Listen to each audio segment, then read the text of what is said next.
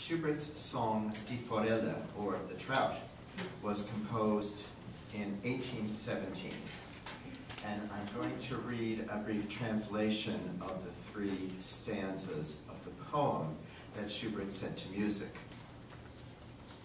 A playful trout, and here we actually have a picture of a playful trout that we were able to obtain from a, a generous local collector. Um, uh, well, it came from the second floor men's room. but we, uh, we, we just we borrowed it because it, it's a picture of a playful trout, and that's what this song is about. So, um, the playful trout darted about happily in a clear brook. I stood on the bank and happily watched the merry fish bathe. A cold-blooded fisherman stood on the bank with his rod, watching the fish wriggle about. So long as the water remains clear, I thought, he will not catch the fish. But suddenly, the thief got tired of waiting. He slyly muddied the brook, and before I realized it, he jerked the rod, and the fish struggled on the line and I, with raging blood, watched the betrayed one. Uh, this Schubert song, uh, this song was immensely popular and published several times during his lifetime. Two years after the first publication, a wealthy patron asked Schubert to compose a quintet for the specific instruments of piano, violin, viola, cello, and bass and to use the the tune from the trout song in some way in the in the uh, in the piece. So Schubert made um, the song into the theme of the theme and variations movement of the quintet, the fourth movement, and um, and you will hear that some of the uh, movements feature uh, one instrument or another instrument in a more prominent role, but the but the the song, the the the, the tune of the song is is in everything. Um, so uh, after I sing the song, we're going to perform the theme and variations movement from the Trout Quintet. And then we're going to conclude the concert with the brief and very uh, bright um, scherzo and trio movement from the Trout Quintet.